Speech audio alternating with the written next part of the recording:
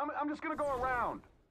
Well, that was less dramatic than I was hoping for. Well, I heard that. As I was saying, I sold a controlling stake of AIM to Iron Man. You don't have enough shares. True. My shares alone aren't enough, but Iron Man will have a controlling stake of AIM when he buys all the shares held by Monica. What? I want you to sell all your shares to Iron Man. Why would I ever do that? Nice Invisusuit, by the way.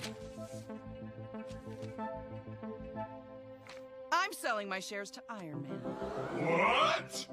And like that, AIM is yours. Cool. Let's get down to business. First order of business AIM is no longer in the world taking over business. Why am I saying business so much? That's none of your concern. Who'd I get? Come on, admit it. I got that guy. I know I got that guy. The Grom. Yes, the Grom! But what of the Grom? Oh, yeah, I'll release it. MODOK showed it to me. It's gonna make me a. Grom, what comes after Octillion? You have to say howdy, Grom. Well, that's humiliating, and I won't say it. And I know the answer anyways. It's nonillion. I'm about to become a non-nillionaire. Oh, right, and before I forget, uh, MODOK, Monica, you're hired.